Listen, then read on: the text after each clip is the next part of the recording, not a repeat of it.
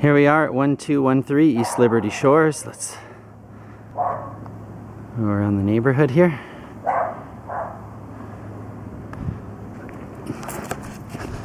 Come inside. So here's the great room, fireplace. Just kind of walk around, pan around a little bit. Walk in. Lighting's not very good, but you can get the gist of it. Here's the backyard. Side yard.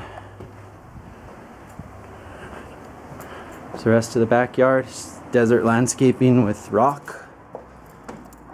The great room again.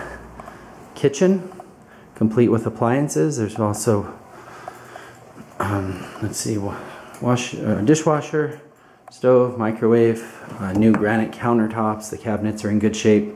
Kitchen island, real nice fridge, freezer. And then this is a half bathroom downstairs. Two car garage. Let's see, nice cabinets. And then this is an office den area can see here. Opens up to the kitchen with double doors and then we're back to the front door here.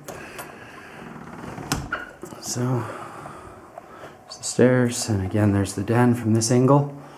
Let's go upstairs and take a look. Moving through this quickly so the video will not have problems loading.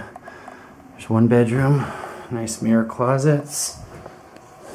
Bedroom number two. Again, closet with mirror doors. Guest bath.